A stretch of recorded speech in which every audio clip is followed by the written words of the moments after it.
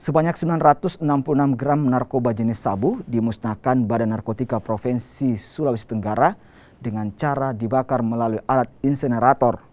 Sabu yang dimusnahkan adalah hasil pengungkapan kasus yang terjadi pada awal bulan Oktober lalu.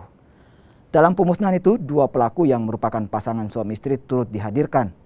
Pasangan suami istri ini kedapatan membawa sabu dari Pekanbaru dengan menggunakan jalur udara ke kota Kendari. Kemudian dari dua tersangka ini kita melakukan penangkapannya itu sekitar bulan Oktober ya, akhir bulan Oktober di Bandar Udara Halu Oleo Kendari.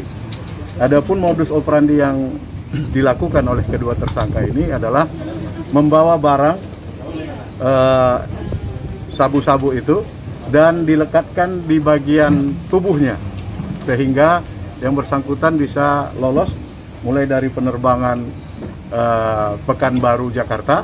Dan Jakarta dilanjutkan